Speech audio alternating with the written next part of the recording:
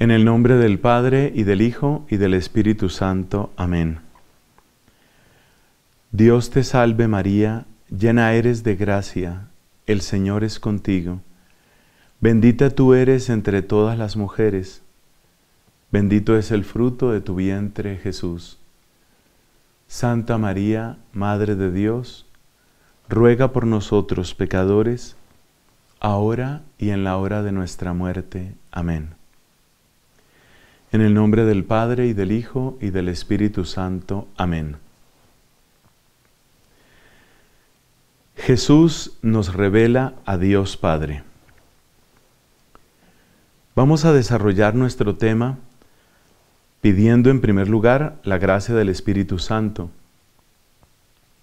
No con una sola oración.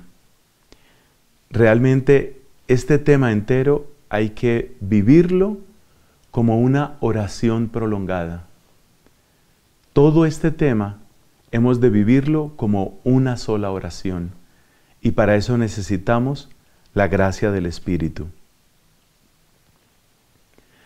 Efectivamente, si pensamos en la relación entre Jesús, nuestro Señor, y Dios nuestro Padre, nos encontramos con que es lo más profundo lo más bello, lo más firme, lo más fecundo que tuvo nuestro Señor en esta tierra.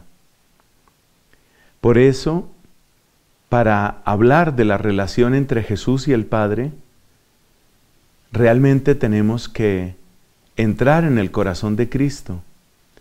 Y en cierto sentido, es mi deber predicar este tema desde el corazón de Cristo desde el corazón de Jesús.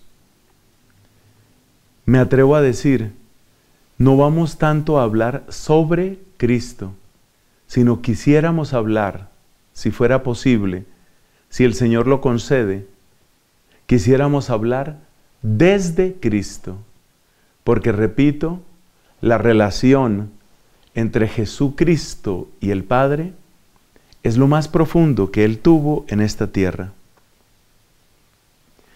Con esa convicción, acerquémonos llenos de respeto, llenos de humildad y de un gran deseo de aprender. Vamos a desarrollar nuestro tema de la siguiente manera. Primero nos vamos a guiar por alguna explicación que nos da Santo Tomás de Aquino sobre cuál es el sentido de la palabra Padre. En segundo lugar, vamos a hablar de cuál es el plan que Dios ha tenido para con nosotros, la humanidad, para descubrir por qué es tan importante la palabra Padre y por qué es tan importante afirmar que Él es nuestro Padre. En tercer lugar, nos referiremos a la perturbación de ese plan la manera como el demonio ha querido perturbar ese plan desde el principio. En cuarto lugar, vamos a hablar de Cristo nuestro Señor y cómo toda su vida es una expresión de la relación con el Padre. Y finalmente, en quinto lugar, queremos mostrar cómo el Espíritu Santo es el que hace real, es el que hace verdadera esa relación de cada uno de nosotros con el Padre gracias a Jesucristo. Ese es el itinerario en cinco pasos que vamos a tener. Empecemos pues. Empecemos por algo tan sencillo como la palabra Padre. Una palabra que hemos escuchado y que hemos utilizado desde nuestra niñez, desde nuestra infancia.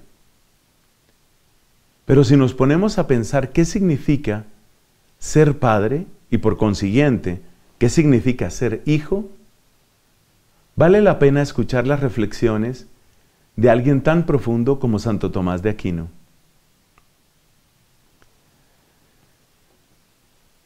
Santo Tomás tiene muchas obras, entre las cuales hay una que siempre me impactó profundamente. Se llama Las razones de la fe. El título original, por supuesto, está en latín, De rationibus fidei. A veces también se puede traducir como razones para creer. De esa obra de Santo Tomás, tomo la siguiente explicación sobre lo que significa ser padre. Nos enseña este santo doctor que de cada uno de nosotros salen muchas cosas. Por ejemplo, puedo escribir una carta, puedo hacer un cuarto, un cuadro, puedo diseñar una máquina, puedo enseñar un curso. Nuestras acciones como seres inteligentes y libres, son acciones que producen, que tienen un resultado. Pero ¿cuál es la diferencia entre diseñar una máquina o escribir un libro o pintar un cuadro y lo que significa tener un hijo? ¿Cuál es la diferencia? La diferencia está en que la máquina o el cuadro o el libro o un jardín que yo cultive no tiene la misma naturaleza mía. Es decir, si yo escribo un libro, aquí queda el libro, pero ese libro no es como yo, no tiene las propiedades mías, no se comporta como yo. En filosofía eso se llama no tiene mi misma naturaleza. En cambio, cuando un padre engendra a su hijo, el padre, el papá, pertenece a la especie humana y el hijo pertenece a la especie humana. Entonces ahí viene una primera idea. Ser padre es producir en una misma naturaleza. Por eso, metafóricamente se puede decir, Tomás Alba Edison es el padre del bombillo, de la luz eléctrica, del uso de la luz eléctrica para iluminar. Eso se puede decir metafóricamente. Pero el uso propio de la palabra padre es aquel en el que se produce un ser en la misma naturaleza. Entonces, yo tengo mi papá, que por cierto, gracias a Dios, vive todavía, está muy mayor, pero vive. Mi papá es miembro de la especie humana y yo soy miembro de la especie humana. Eso quiere decir que mi papá ha producido algo en su misma naturaleza, en su misma naturaleza. No nos asustemos por los términos un poquito filosóficos. Me gusta darle un buen cimiento a esto que vamos a exponer, porque lo mismo que en los edificios, cuando el cimiento está bien firme, el edificio se puede levantar muy alto. Segundo, hagámonos esta pregunta, ¿cuál es la diferencia entre padre y madre? Tema que tiene cierta actualidad por las razones que todos conocemos la presión de la ideología de género. Aunque la expresión ideología de género no existía en el siglo XIII, cuando vivió Santo Tomás, las explicaciones que da Tomás sobre la diferencia entre padre y madre son muy útiles, bueno, para nuestro tema de hoy, pero son muy útiles también para comprender hasta dónde está desquiciada la ideología de género. Entonces vamos con esto. ¿En qué se diferencia aquello de ser papá o ser mamá? ¿Cuál es la diferencia? No en términos puramente sociales ni culturales, sino cuál es la diferencia, llamémoslo así, profunda. Si lo examinamos un poco, nos damos cuenta que el comienzo del hijo sucede en la madre y el comienzo del hijo sucede fuera del padre. Es decir, que la manera como la mamá se relaciona con el hijo está marcada por la continuidad. Por eso la mamá siente a la criatura que crece en su vientre, la siente como casi una prolongación de ella misma, la siente como parte de ella misma. Sabemos muy bien por la genética y por, la, por otras ciencias, sabemos muy bien que no es una parte de la mamá, es un ser distinto. Pero la manera como la mamá ama a esa criatura es al principio como algo completamente suyo. ¿Cómo no lo va a sentir suyo si está creciendo dentro de ella? Entonces, la palabra clave cuando hablamos de mamá es la palabra continuidad. Y la palabra clave cuando hablamos de papá es discontinuidad. Pero ambos son amores.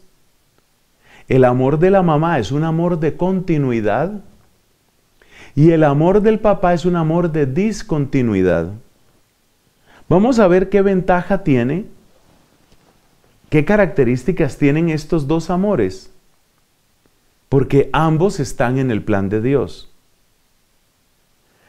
Cuando nosotros hablamos de un amor de continuidad, estamos hablando de un amor que, por decirlo de alguna forma, apoya, sostiene, alimenta. Y por eso también muchas veces justifica a la criatura, al hijo. Es muy propio en las mamás, también les pasa a los papás, por supuesto, pero es muy propio en las mamás eso de ver a los hijos y seguirlos viendo como si fueran pequeñitos de hecho, en muchos hogares hay grandes dificultades cuando llega esa etapa de adolescencia y juventud. En parte, porque los adolescentes tienen pues sus propias características que no son tan fáciles, pero también, en parte, porque es que las mamás quieren seguir tratando a sus hijos como si fueran pequeños y no pudieran resolver nada, ni decidir nada, ni dar un paso sin la mamá. Ahí se muestra el amor de continuidad. Cada vez que nace una criatura es necesario cortar el cordón umbilical, que por supuesto es una realidad física. Pero como que hay un cordón umbilical emocional que permanece y que liga a la mamá con el hijo. Ese amor de continuidad hace que de una manera incluso física, las mamás sufran cuando ven al hijo sufrir. Sobre este tema, San Bernardo de Claraval tiene una explicación lindísima, refiriéndose a los sufrimientos de María cuando estaba al pie de la cruz. Es decir, que ese vínculo profundo que de algún modo no se rompe, ese amor de continuidad, es un amor que cuida, sostiene, alimenta. Y es un amor que por eso copadece. De ahí viene, por supuesto, la palabra compadecer. Copadece, padece con el otro. Esto sucede de un modo particularmente intenso en la mujer y sobre todo en las que han sido mamás o son mamás y sobre todo cuando la mamá ve así sufrir a su hijo. Bueno, y el amor de discontinuidad, entonces, ¿qué? ¿Es todo pérdida? No, ponle cuidado. El amor de discontinuidad también tiene un valor muy grande. Porque el amor de discontinuidad es el que da una mirada objetiva, una mirada distante, pero distante en el sentido de perspectiva, no en el sentido de menor amor.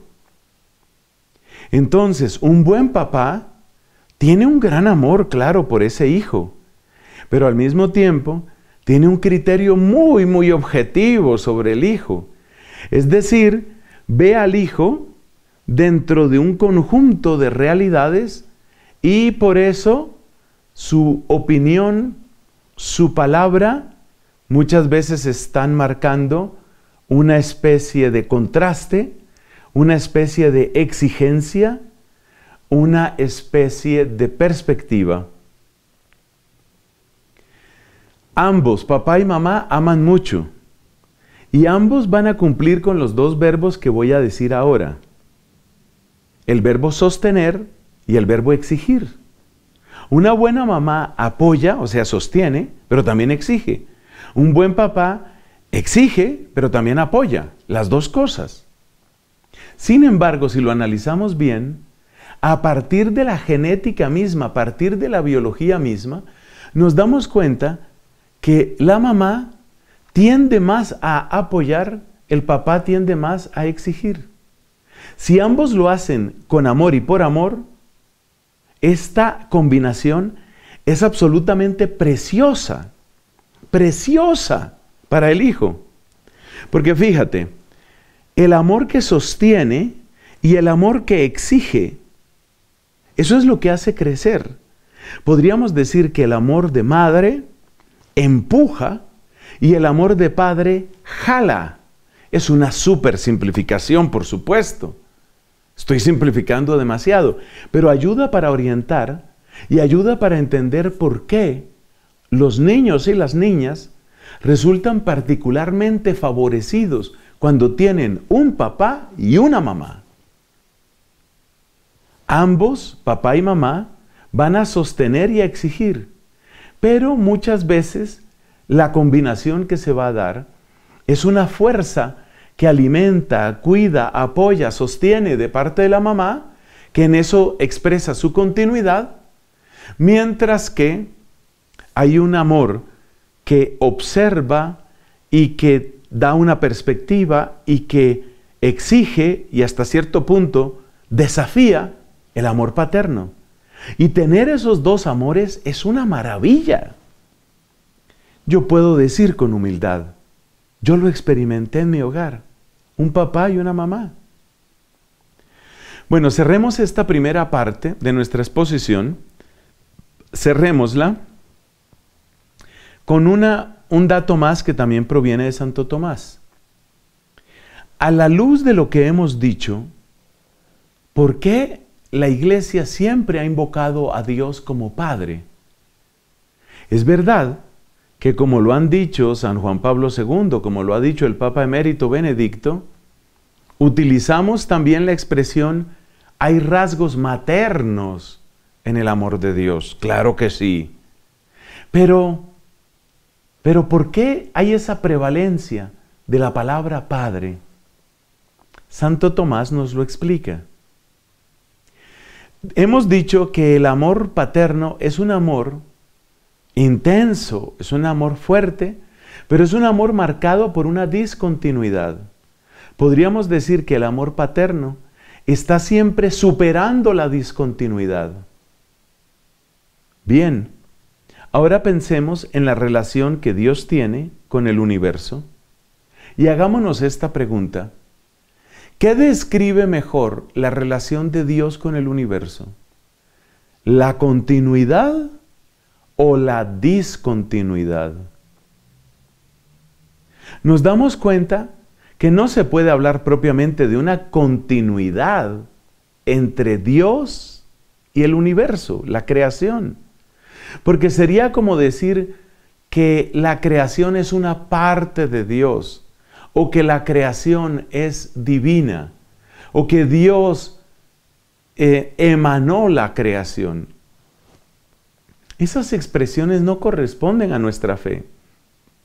Precisamente utilizamos el sustantivo creación, que corresponde, por supuesto, al verbo crear. Y si hablamos de crear, ¿qué estamos diciendo? Estamos diciendo que hay una distancia entre el creador y la creación. La creación no es una prolongación de Dios. La creación no es una parte de Dios. La creación no es igual a Dios. Entonces no se puede hablar de continuidad entre el creador y la creación.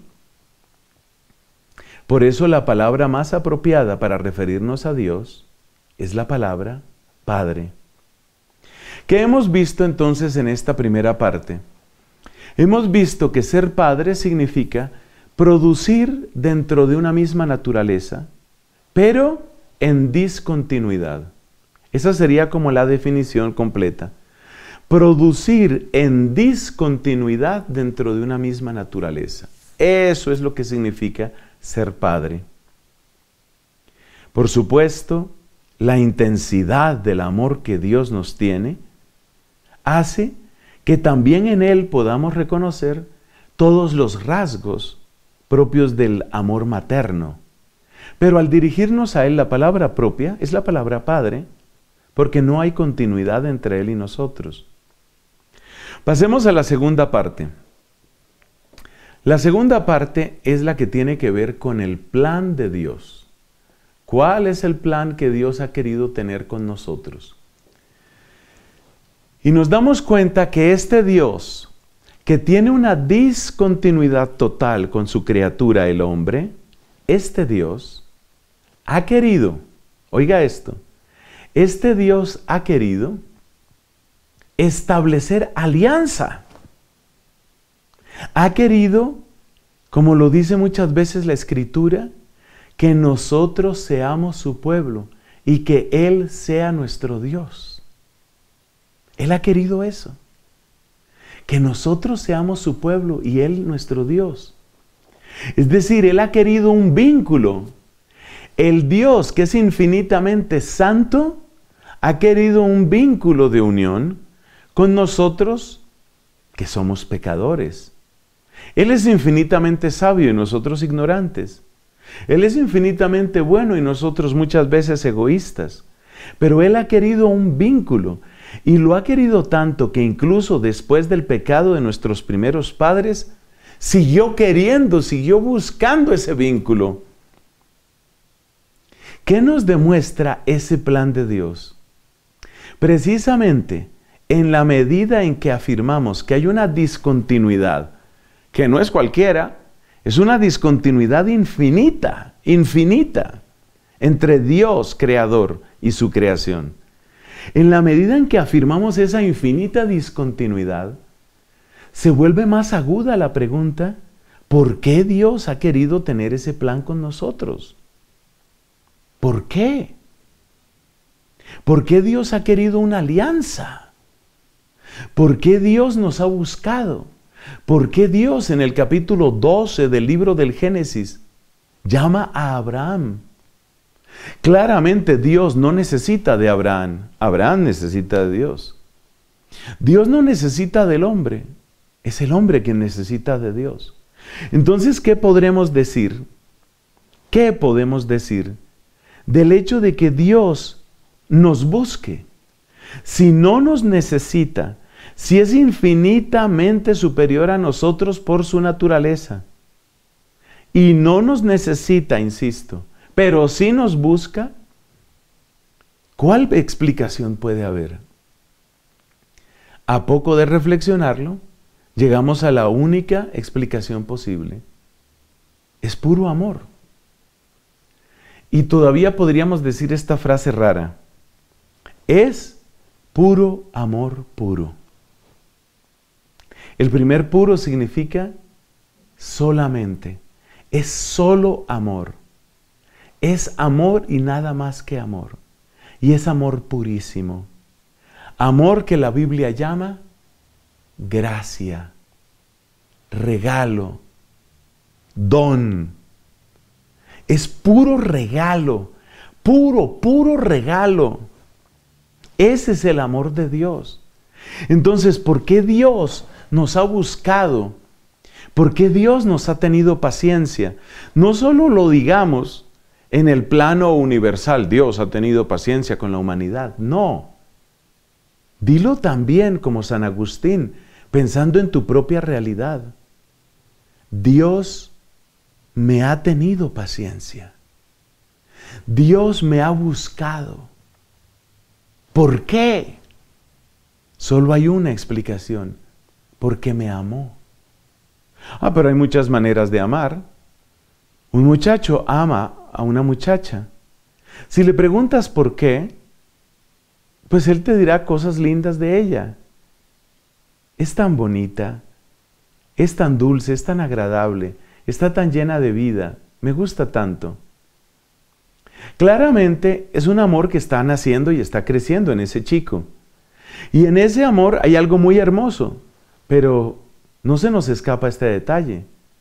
En ese amor es evidente que Él espera algo, Él va a ganar algo. Él quiere, claramente, Él quiere recibir algo.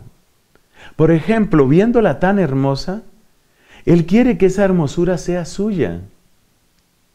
¿Es eso pecado? No, no es pecado.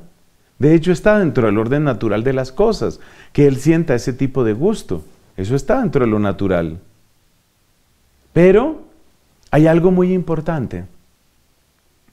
Y es que Él sí está esperando algo.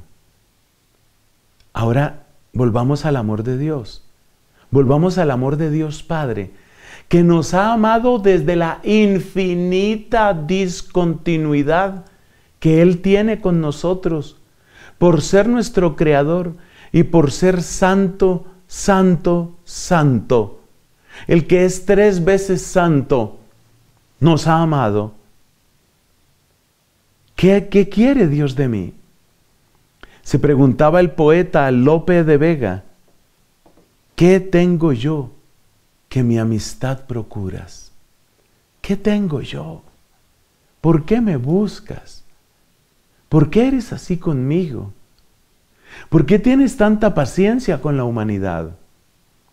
Esta humanidad que es tan rebelde, que muchas veces es apóstata, como decía una de las lecturas del profeta Jeremías no hace mucho. ¿Qué palabras tan duras? Volved, hijos apóstatas. ¡Qué duro! Y eso somos, rebeldes, apóstatas, pueblo de dura cerviz. Eso somos. ¿Por qué me busca Dios? ¿Por qué me busca? Si soy tantas veces rebelde, de dura cerviz, ¿por qué me busca? Solo puede haber una explicación, solo una. Porque su amor es absolutamente gratuito. Ese amor que no se apoya en una ganancia, ese amor, ese amor que no pretende un interés, ese se llama amor completamente gratuito y eso se llama en la Biblia gracia. Esa es la gracia. Entonces el plan de Dios ha sido amarnos así. Pasemos a la tercera parte de nuestra exposición. Hablemos de dónde entra nuestro Señor Jesucristo en este desarrollo. Pues esa es la cuarta parte, porque primero viene la tercera, que es los intentos del demonio de arruinar el plan de Dios. Es decir, para entender qué es lo que viene a traernos Cristo, tenemos que entender qué fue lo que nos robó el demonio. Entendamos lo que nos robó el demonio, o lo que ha querido desde siempre robarnos el demonio, y entenderemos qué es lo que Cristo ha venido a preservar y mejor que eso, a restaurar en nosotros. Entonces hablemos de ese tema tan doloroso, el plan del demonio. Plan del demonio para destruir el plan de Dios. ¿Cuál ha sido el plan del demonio? El plan del demonio ha sido atacar la unión que Dios, por puro amor, por amor gratuito, ha querido tener con nosotros. ¿Por qué el demonio quiere destruir ese plan de Dios con nosotros? Básicamente la respuesta la da la Biblia. Por envidia del demonio entró el pecado en el mundo. No se nos debe olvidar jamás que dentro del universo visible, Dios hizo una criatura a imagen y semejanza suya. Esa criatura eres tú. Esa criatura soy yo. Esa criatura, a imagen y semejanza de Dios. Entonces, en la medida en que el ser humano, hombre o mujer, le responde a Dios, la imagen de Dios se hace más perfecta en cada uno de nosotros. Y a través de nosotros, Dios realiza su gobierno soberano sobre la creación. Y por consiguiente, el demonio queda expulsado al lugar que él preparó para sí mismo, es decir, el infierno. Es decir, cada persona que le dice sí a Dios es un triunfo de su amor. Cada persona. Cada persona que le dice sí a Dios es triunfo y gloria para Dios. La envidia del demonio hace que ataque ese plan de Dios porque cada persona que se aparta de Dios, el demonio la cuenta como un triunfo suyo. ¿Y cuál es la estrategia del demonio? La hemos comentado en otras ocasiones. La estrategia básica del demonio se llama la gran mentira. ¿Qué es la gran mentira? La gran mentira es la idea que el demonio quiere meter en nuestras cabezas. La idea de que uno tiene que escoger entre ser obediente o ser feliz. Esa idea, si se cuela en nuestra cabeza y en nuestro corazón, si esa idea se te mete en la cabeza y en el corazón, estás perdido. Estás perdido. Porque el impulso que tiene el corazón humano hacia la felicidad es un impulso que viene del mismo Dios. Efectivamente, nosotros, cada uno de nosotros tiene en su corazón un hueco, un hueco infinito, podríamos decir, un hueco que no se llena con nada. Estamos hechos para una plenitud, estamos hechos para una felicidad. Por eso la persona que desconoce a Dios, pero que conoce mucho el dinero, piensa que echándole y echándole dinero a ese hueco, va a encontrar felicidad. La persona que no conoce la soberanía de Dios, pero que sí conoce el placer del sexo, va a pensar que echando, volcando más y más placer sexual, va a tener esa felicidad. Estamos hechos para ser felices. Por supuesto, esa palabra felicidad no hay que trivializarla. La felicidad más perfecta no consiste en que no haya obstáculos, sino en que se venzan los obstáculos. Pero por ahora que nos quede claro que estamos hechos para una plenitud que se llama felicidad. Y como nosotros no vamos a poder renunciar a eso, de eso se vale el demonio para implantar la gran mentira en nuestros corazones. Nos mete o quiere meternos en la cabeza que hay que escoger entre ser obediente a Dios o ser feliz. Y como uno tarde o temprano va a buscar la felicidad, o por lo menos va a buscar lo menos doloroso, que es lo que busca un suicida, como uno va a buscar siempre la felicidad o va a buscar un bien porque porque no puede dejar de desear un bien, algún bien, entonces el demonio sabe que si logra inocular la gran mentira en nosotros, la tiene ganada. Esa es la estrategia del demonio.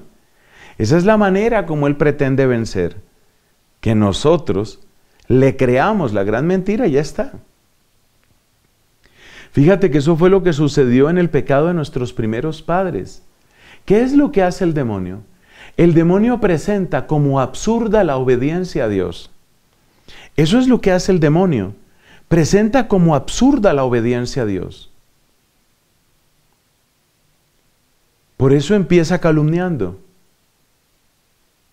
¿Verdad que Dios les dijo que no comieran de ningún árbol? Eso era mentira, era una calumnia. Y Eva dice, No, no, no, sí podemos comer de todos los árboles, menos del árbol del conocimiento del bien y del mal. Porque Dios dijo que si comíamos de ese árbol moriríamos. Y le responde la serpiente, ustedes no van a morir, van a ser como dioses. Fíjate que está poniendo la desobediencia como un atajo, como un camino más rápido, más suave, más deleitable para llegar a lo que todo ser humano quiere, es decir, a la felicidad. Entonces el plan del demonio siempre es ese, apartarnos de Dios, amarrándonos a bienes particulares, placeres particulares, ganancias particulares, intereses particulares. Y tú que seguramente tienes un conocimiento de la Biblia, sabes qué significa eso de ganancias particulares y todo lo demás que he dicho. ¿Qué significa? Eso significa ídolos. La estrategia del demonio siempre es esa. Que tú cambies a Dios por algún ídolo. Que vuelques toda tu atención, todo tu amor, todos tus proyectos, todas tus fuerzas solamente en eso, en eso. Y esa estrategia tiene mucha fuerza. Esa estrategia le sirvió para derribar a nuestros primeros padres, Adán y Eva. Y esa estrategia le sirvió también para otra cosa muy importante. Le sirvió para seguirnos atacando. Algo así como cuando una ciudad está amurallada, pero resulta que se abrió una brecha y los que entran por esa brecha abren otras brechas para que termine de entrar el ejército adversario. Ese es el plan del demonio. Presentarnos a Dios como un enemigo, presentarnos las leyes de Dios como si fueran contrarias a nuestra felicidad, presentar la obediencia a Dios como una gran estupidez. Ese, ese, ese es el trabajo del demonio. Ahora sí pasamos a nuestra cuarta parte. ¿Qué hace Cristo frente a esto? Ya vamos comprendiendo, sin que hayamos desarrollado la cuarta parte, ya vamos comprendiendo lo importante que es el título de nuestra charla. Jesús revela a Dios Padre. Jesús nos muestra el rostro de Dios Padre. Porque en efecto, si lo piensas bien, Toda la estrategia del demonio, toda, consiste en calumniar a Dios. Es decir, el demonio quiere que tú tengas un rostro tan repugnante de Dios, pero tan repugnante que no quieras unirte a Él. Que tengas un rostro repugnante de Dios, que tengas ese, esa imagen equivocada de Dios, para que te vuelques a los ídolos, a los bienes particulares, a las cosas de este mundo. Fíjate cómo el demonio desfigura la imagen de Dios en el corazón de Eva y a través de Eva en el corazón de Adán. El demonio desfigura el rostro de Dios. Presenta a Dios como un mentiroso, presenta a Dios como un envidioso, presenta a Dios como un codicioso que no quiere compartir lo que es y lo que tiene. Eso es lo que hace el demonio. Eso es lo que quiere el demonio. Entonces cuando Cristo nos revela el verdadero rostro de Dios, está destruyendo la gran mentira. Porque la gran mentira es que ese Dios es un tirano que pide cosas absurdas, imposibles, amargas y aburridas. Ese es el plan del demonio. En la medida en que Cristo revela el rostro de Dios Padre, nos damos cuenta que todas las mentiras y las patrañas del demonio eran solamente eso, una estafa. A medida que Cristo revela el rostro de Dios Padre, descubrimos la gran mentira. Si este servidor que les está hablando puede mencionar la gran mentira, si yo tengo esa claridad por misericordia de Dios, como la tienen muchos otros, eso no es, una, eh, no es un privilegio mío. Si yo puedo hablar de eso, ¿por qué es? Porque Cristo me ha revelado el rostro verdadero de Dios Padre. ¿Y qué hizo Cristo para revelar el rostro verdadero de Dios Padre? hizo cuatro cosas. Cuatro cosas hizo Jesucristo para revelar el rostro de Dios Padre. Bueno, hizo muchísimas cosas, pero sobre todo cuatro. Vamos a condensar lo que hizo Cristo para revelar el rostro de Dios Padre en estos cuatro puntos. Primero, Cristo manifestó sobreabundante misericordia para con los pequeños, los marginados, los enfermos, los pobres, los excluidos, los pecadores. Eso no era lo que nos decía el demonio.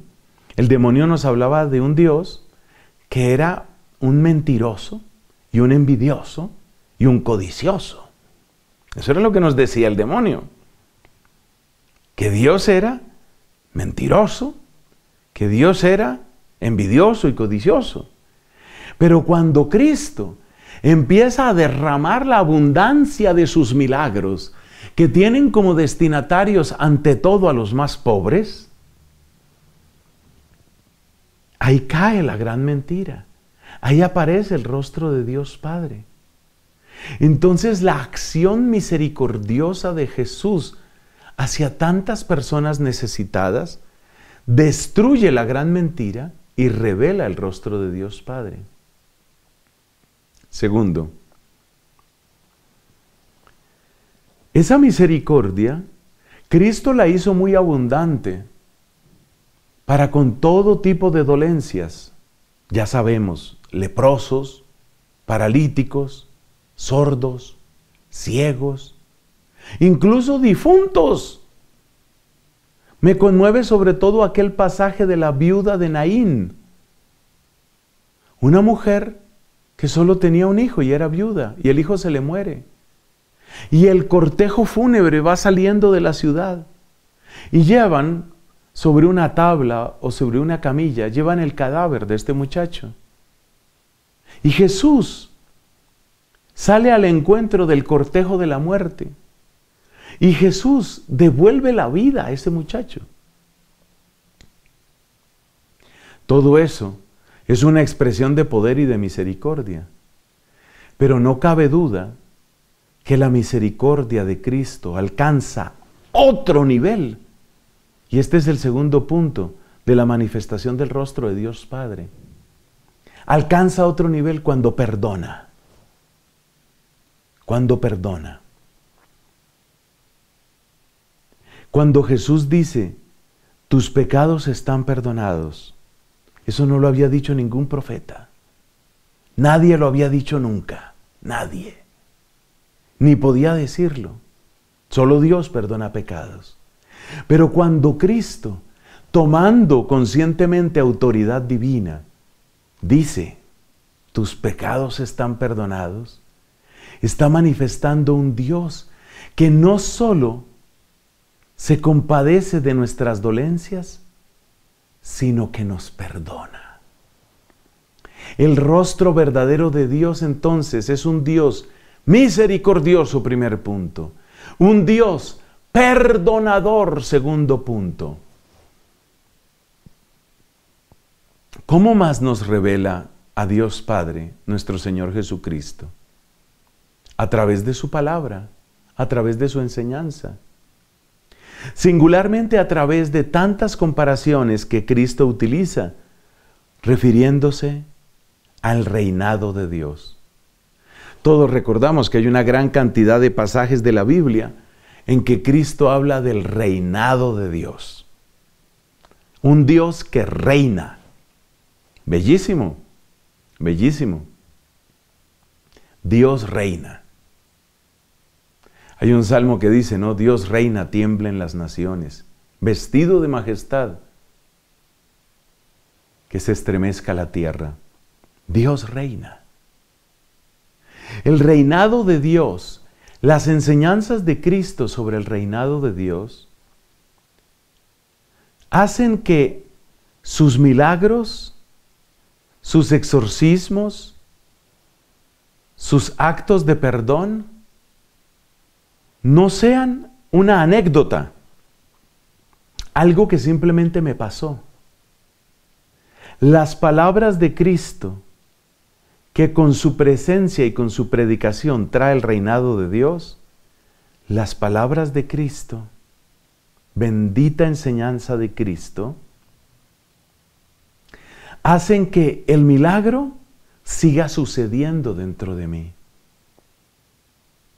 Porque Dios en Cristo no es solamente un toque que sana, es un reino que llega.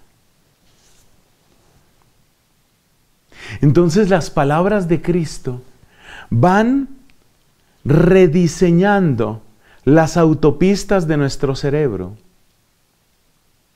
Nuestros cerebros estaban organizados, podríamos decir, habían adquirido las conexiones necesarias y suficientes para servir a los ídolos. Como le pasa a una persona que es mentirosa, cuando una persona tiene práctica en eso de decir mentiras, le salen solas. Cuando una persona ha hablado mucho en un lenguaje vulgar y de doble sentido, los chistes vulgares le llegan así, así a la mente. Le resulta sencillísimo recordarlos y se inventa otros chistes vulgares y obscenos y de doble sentido y los disfruta y los comparte. Su cerebro está al servicio del pecado. La persona que tiene su cabeza repleta de pornografía tiene una habilidad para imaginar y para completar lo que ve. De manera que, por ejemplo, yendo por la calle,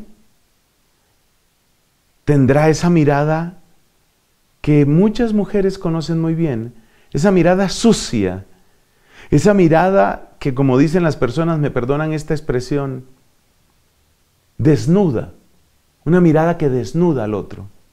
Tiene el cerebro al servicio de su lujuria, al servicio de su pecado. Entonces, ¿a qué conclusión llegamos? Llegamos a una hermosa conclusión.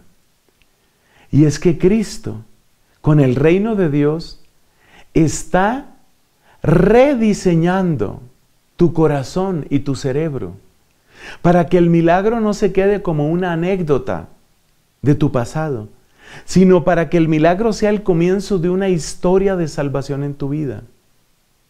Entonces las parábolas del reino de Dios que nos muestran cómo es Dios y que nos muestran cómo reina Dios, nos revelan el rostro de Dios.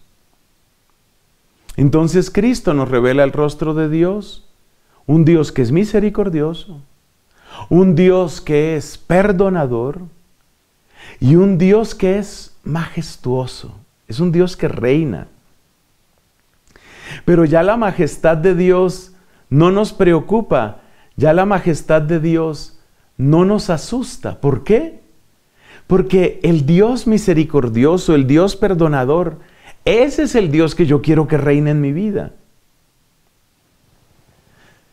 Pasemos al cuarto punto de cómo revela Cristo este rostro de Dios.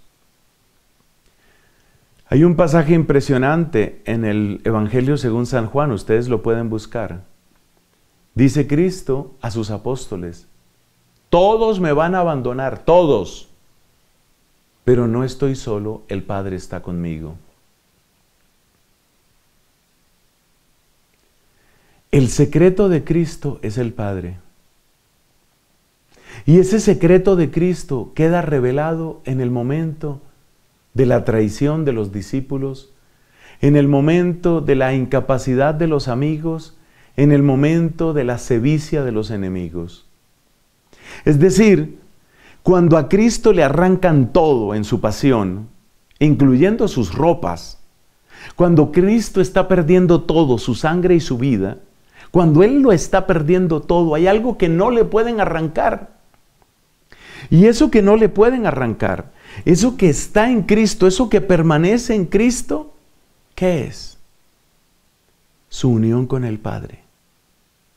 Por eso, en la soledad de la cruz, así como en la soledad de Getsemaní? Cristo, Cristo nos está revelando. Qué hermosura. Cristo nos está revelando al Padre. El cuarto modo de revelar a Dios Padre es en la tremenda paradoja de la cruz. Cristo lo pierde todo, pero no le pueden quitar a Dios Padre. Incluso cuando Él ora y dice, Dios mío, Dios mío, ¿por qué me has abandonado? Que es tal vez de los momentos más dramáticos de la pasión. Pues ya todos sabemos que esas palabras son propias de un salmo. Es decir, Cristo está orando. Y observa otra cosa de la pasión de Cristo. En la pasión de Cristo, lo que le dicen sus verdugos y los sumos sacerdotes y los fariseos que están ahí al pie de la cruz, lo que le dicen es, bájate de la cruz. ¿Qué significa eso? Apártate de la voluntad del Padre. ¿Sí ves al plan del demonio ahí? Quítate, quítate de la voluntad del Padre. Pero Cristo no se aparta de la voluntad del Padre. Y por eso su victoria es perfecta. Su victoria es plena. Y por eso Cristo nos revela que Dios es. Él es el que es. Así como se reveló a Moisés, yo soy el que soy. O como le dijo a Santa Catalina de Siena, le decía Dios a Santa Catalina, ¿sabes tú? Le habla Dios a ella, ¿sabes tú quién eres tú y quién soy yo? Tú eres la que no eres, yo soy el que soy. Entonces Cristo nos revela la misericordia, nos revela la gracia, Cristo nos revela el poder majestuoso de Dios Padre y nos revela que Él es el único que es, el único que permanece. Él es, Él es el único. Esta potente revelación de Cristo destruye, deshace la gran mentira que era la estrategia del demonio. Pero nos falta el último punto. Eso tan maravilloso, ¿cómo se va a hacer realidad en nosotros? ¿Cómo va a llegar a ser realidad en nosotros? Pues es aquí donde descubrimos la grandeza del don del Espíritu Santo. ¿Cómo puedo yo experimentar hoy, hoy, ¿Cómo puedo experimentar hoy que Dios es misericordioso, perdonador, majestuoso y Él es el que es? ¿Cómo puedo experimentarlo?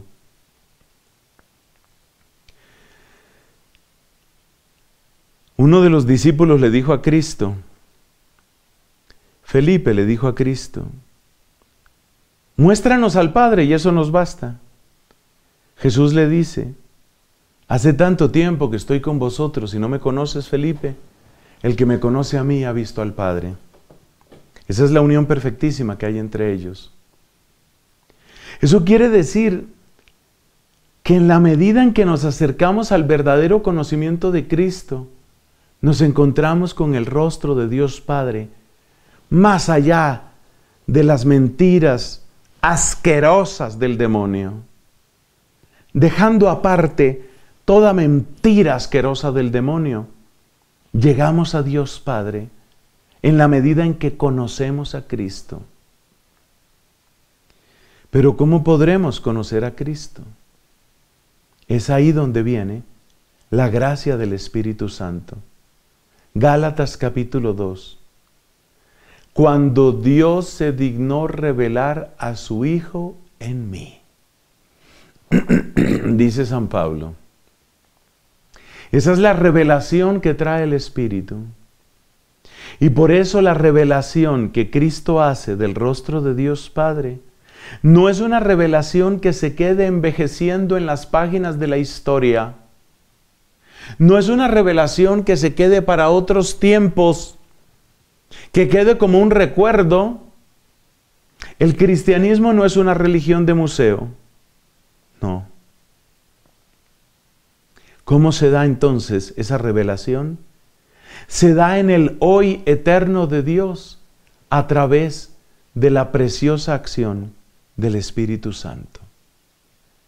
Esa acción del Espíritu en nosotros es la que hace que yo pueda experimentar hoy, hoy, pueda experimentar la misericordia, el perdón, el poder de Dios Padre y pueda sentir que Él es el que es. Y por consiguiente, me pueda volcar hacia Él, me pueda depositar en Él. Dice el apóstol San Pedro, arrojad en Él todas vuestras preocupaciones. Yo me puedo depositar en Él, yo puedo depositar en Él todo lo que me carga. Es una realidad que no se queda en el pasado de dichosos los que pudieron hacerlo. No, no, no. Dichoso yo, dichoso tú, que puedes hacerlo. Es ahí donde, donde se realiza la obra del Espíritu. Por eso Cristo nos dice en el Evangelio de Juan, el Espíritu Santo os recordará todo lo que yo os he dicho. Esa memoria no es simplemente la memoria como la de un computador, del cual yo puedo recuperar datos. No, no, no. No es ese tipo de memoria. Es la memoria del corazón. Es la memoria que conecta. Es la memoria que sabe de amor. Mis hermanos, hemos llegado al final de nuestro recorrido. Qué grande es Dios. Yo creo que se entiende por qué decíamos al principio, toda esta charla hay que verla como una sola oración, como una oración preciosa que nos está diciendo cómo hemos sido amados y que nos está diciendo cómo se vence al poder de las tinieblas y que nos está diciendo a qué destino hemos sido convocados. Cristo nos revela la verdad de Dios. Solo puedo terminar con la frase que dijo el mismo Cristo en el capítulo 17 de San Juan. Porque esta es la vida eterna, lo dice Cristo en una oración a su Padre, porque esta es la vida eterna, que te conozcan a ti y a tu enviado Jesucristo. Que venga el Espíritu Santo en nuestro auxilio y nos conceda esa vida nueva esa vida eterna. Gloria al Padre, al Hijo y al Espíritu Santo, como era en el principio, ahora y siempre, por los siglos de los siglos. Amén.